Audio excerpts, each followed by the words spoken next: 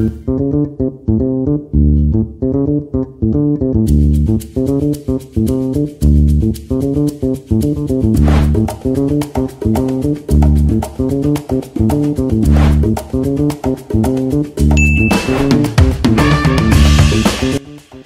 chào mừng quý anh chị và các bạn quay trở lại với kênh Thúy Trần Bất Động Sản Bình Dương. Hiện tại Thúy Trần đang có mặt ngay tại khu vực huyện Lộc Ninh, thuộc về tỉnh Bình Phước.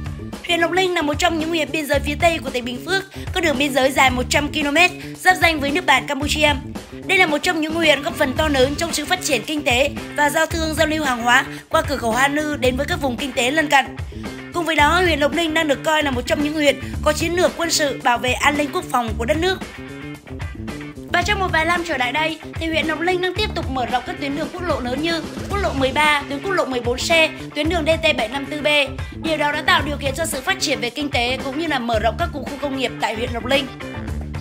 Chính nhờ sự phát triển về kinh tế cũng như là mở rộng các cụm khu công nghiệp đã thu hút được lượng dân cư về đây sinh sống và làm việc, tạo cho sự phát triển của tình hình bất động sản tại khu vực Lộc Ninh trong thời gian vừa qua trở nên nhộn nhịp hơn bao giờ hết.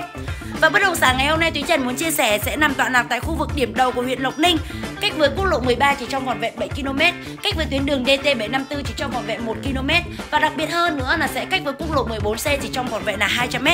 Với mức giá dao động từ 550 triệu đến 650 triệu một nền với quy cách là 200 đến 250 m vuông, có 100 m vuông thổ cư và sổ sẵn.